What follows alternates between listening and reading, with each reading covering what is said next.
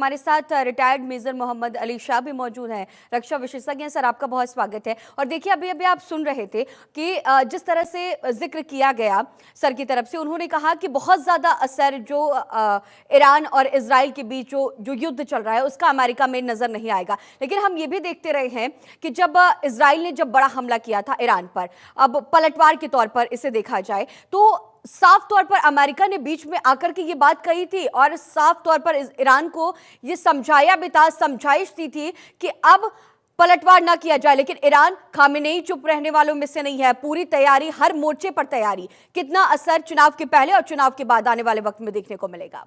जी आपका बड़ा अच्छा सवाल है। अमेरिका ने एक आखिरी पुश दी है सीज फायर के लिए अभी। हम्म। कल ही।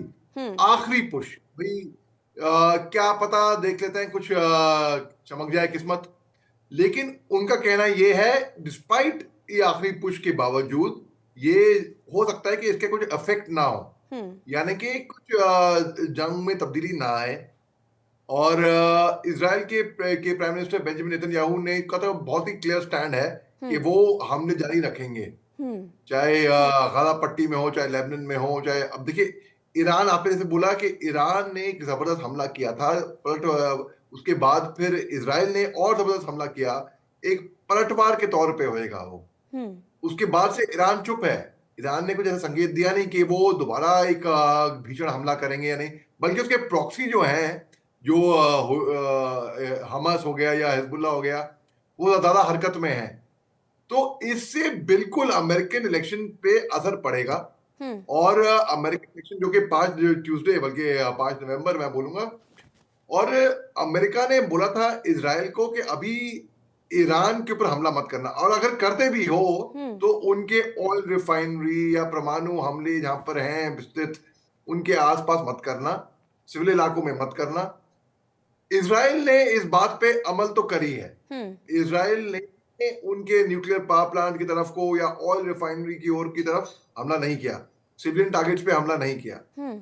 और अब बात ऐसी आ गई है कि हिजबुल्ला ने बल्कि पाँच अन्य सिविलियन टारगेट्स पे इसराइल को निशाना बनाया और अब बात ऐसी है कि अगर देखते हैं कि कौन आता है सबकी नज़रें टिकी हुई हैं अमेरिकन इलेक्शंस के ऊपर हम्म। क्योंकि ये बहुत ही महत्वपूर्ण इलेक्शन होगा ये बल्कि जो फेट है जो वॉर का रुख है उस मोड को इस इलेक्शन में इतना दमखम होगा कि वो इलेक्शन चाहे कोई भी हो चाहे आ, कोई भी आए हम्म। लेकिन इससे काफ़ी कुछ डिपेंड होगा कि जो इसराइल का जो मिडल ईस्ट में जो जंग चल रहा है वो किस मोड पे जाता है जाता है जी अली शाह साहब, आपका रुख करना चाहूँगी कि देखिए जिस तरह से हमने देखा था जब इसराइल ने इस बार जब हमला किया तो ईरान के उसी हमले की जवाबी कार्रवाई थी। कहीं ना कहीं जो प्रतिशोध की जो ज्वाला थी, जो प्रतिशोध की आग थी, वो भड़कती हुई नज़र आ रही थी इसराइल में। लेकिन अब जिस तरह से ये भी जानकर ईरान अमेरिका में चुनाव भी होने हैं आने वाले वक्त में, और इसराइल और अमेरिका,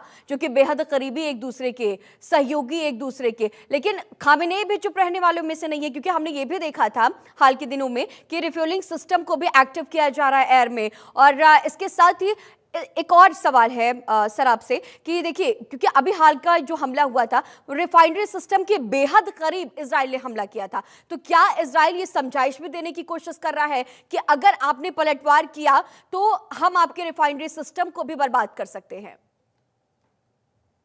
आपने बिल्कुल सटीक बात करी है, दुरुस्त तीर निशाने पे ही लगा है। बिल्कुल आपने सही फरमाया, बिल्कुल। देखिए, मैं आपको कुछ चंद एक इंसिडेंट बताता हूँ जैसे हम्म। कि जो लेबनन के जो केयर टेकर प्राइम मिनिस्टर हैं नजीब मिकाती उन्होंने कहा था कि वेनेसडे को कहा था कि एक उन्होंने इंटरव्यू दिया था लेबनीज मीडिया आउटलेट को अल जदीद को और उन्होंने कहा था कि हो सकता है कि वो सीज फायर के करीब हो और उनको उम्मीद है कि कुछ चंद घंटों में कुछ टाइम में एक सीज फायर हो जाए वहाँ पे हम्म। ऐसा मतलब यानी कि ऑप्टिमिस्टिक थे इसके अलावा इसराइल ने जो हमला किया उनके परमाणु हथियारों के पास या ऑयल रिफाइनरी के करीब में वहाँ पर नहीं दिया हमला ये एक तरीके से एक संकेत भी था जैसे आपने फरमाया कि ये एक मैसेज भी था कि अभी सुधर जाओ हम्म। अगला हमला वहाँ पर ही होएगा भला ही अमेरिका चाहे नहीं चाहे हम हम्म। अपना एक सोवरेन नेशन है हम जो करेंगे वो करेंगे सीआईए के जो डायरेक्टर हैं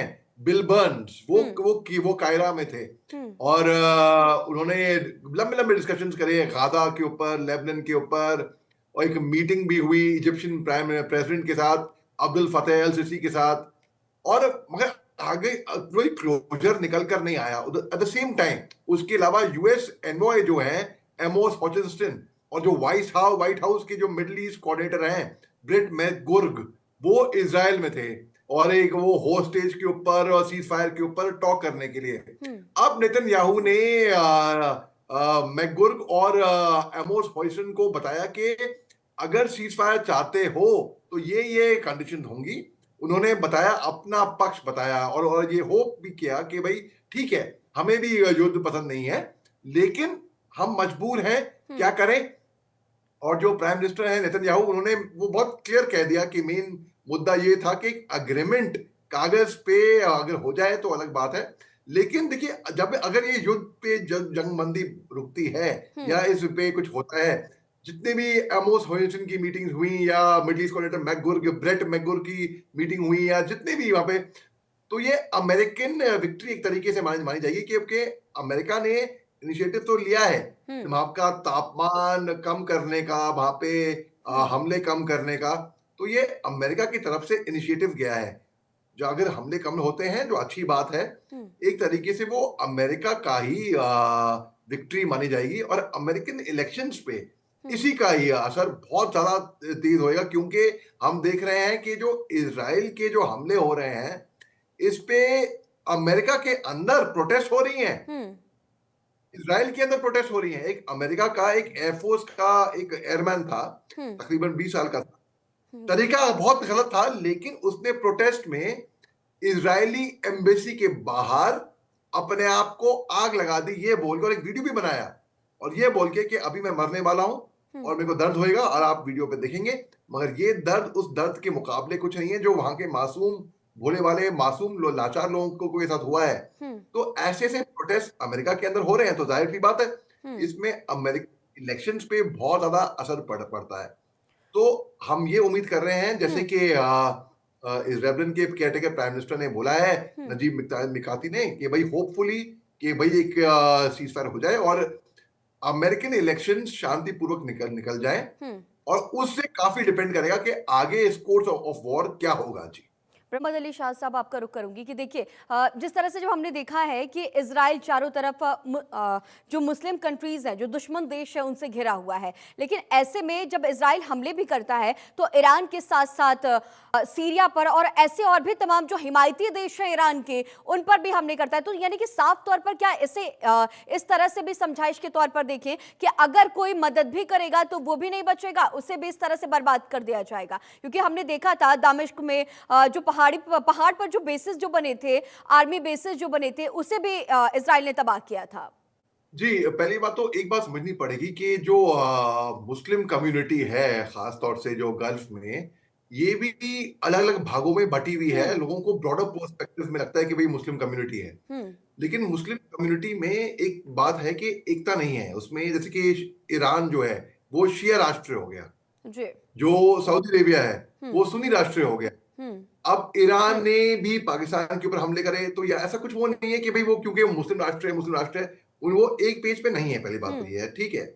इसके अलावा जो यूएस एनवॉयज हैं अगर मैं इस बात पे आऊँ यूएस एनवॉयज ने जो गए थे इन्होंने इसराइल के अंदर इन्होंने योव गैलेंट जो उनके डिफेंस मिनिस्टर है हम्म। उनसे भी मीटिंग करी और नॉर्दर्न इसराइल लेबनन और जो हॉस्टेजेस की वापस होनी है गादा उसके ऊपर अन्य विषय पे बातें करी। और इसके अलावा जो कंक्लूजन हुआ वो रेडार में क्योंकि यूएस इलेक्शन के अभी रेडार में है अभी बहुत ही करीब है। हम्म। और बहुत कम एक्सपेक्टेशन है कि भाई अभी हो सकता है कि ये युद्ध खत्म हो। अभी हाल ही में वेनेसडे की बात है जो वाइस प्रेसिडेंट है अमेरिका की कमला हैरिस वो एक स्पीच दे रही थी मेडिसिन के अंदर। हम्म। और कुछ डिस्ट्रप्शन हुए उनके स्पीच के अंदर जो कि विस्कॉन्सन मेडिसिन में स्पीच दी थी। वहाँ के स्टूडेंट लोग बहुत थे। उन्होंने एक प्रोटेस्टर ने बुलाया कि अभी हमको सीज फायर चाहिए। कमला हैरिस ने बोला कि वो खुद चाह रही है कि जो युद्ध है गाजा पट्टी में वो खत्म हो जाए और जो होस्टेजेस हैं वो वापस हो जाएँ। हम्म। और अगर वो सत्ता में आती हैं वो पूरी कोशिश करेंगी सब कुछ करेंगी कि मिडल ईस्ट का जो कॉन्फ्लिक्ट है वो खत्म हो वो अपनी तरफ़ से पूरी कोशिश करेंगी। हम्म। अब ईरान जो है अयतुल्ला खमनी ने दो तीन महीने पहले ही कहा था कि भाई ईरान इसराइल के ऊपर हमला करेगा। हम्म। लेकिन उनकी जो न्यूली इलेक्टेड प्रेसिडेंट है ईरान के प्रेसिडेंट पेशकिन उन्होंने कहा नहीं अगर ईरान हमला करती है तो ईरान का भी इसमें नुकसान होगा। तो इसलिए अभी हमला कुछ टाइम मत करिए इसकी बात मत करिए। हम्म। पहली अप्रैल को हम्म। सीरिया के अंदर कंसुलेट के अंदर हमले हुए थे जहाँ पे आईआरजीसी जो ईरानियन रेवोल्यूशनरी गार्ड कोर है हम्म। उसके लोगों को चोट पहुँची थी उसमें वो मर गए थे। हम्म। तो ईरान ने बोला कि भाई अब हमला करें। ईरान ने हमला तो किया हम्म। इसराइल पे लेकिन 130 मिसाइल दागे लेकिन पूरे के पूरे सेंट्रल इकोनॉमिकल जोन में दागे जहाँ पे हम्म। उनको फ़र्क नहीं पड़ता सिंबॉलिक हमला किया था। तो बिल्कुल नुकसान हुआ नहीं। इस बार ईरान ने जो हमला किया वो 180 बैलिस्टिक मिसाइल दागे। हम्म। ज़्यादातर अमेरिका की वजह की मदद से और इजराइल का जो आयरन डोम सिस्टम है उसकी वजह से इंटरसेप्ट हो गए थे। तो हम्म ज़्यादा नुकसान आगे फिर से नहीं हुआ। अब बात यह है कि अगर ईरान ने बोला था पहले हमले के बाद हम्म। कि अगर पहली अक्टूबर की बात है मेरे ख्याल से तो अगर इसराइल पलटवार करती है तो दूसरा ये तो ट्रेलर था दूसरा हमला और तेज होगा ये प्रेसिडेंट के पेशकिन जो कि मना कर रहे तौर पर सर जिस तरह से तमाम बातें तमाम बयान सामने आ रहे हैं पलटवार की भी बातें कही जा रही है और ट्रेलर और पिक्चर भी लगातार ये दोनों कंट्रीज़ आप आपस में एक दूसरे को दिखाते रहेंगे और इनके हिमायती जो है वो भी सहयोग करते रहेंगे।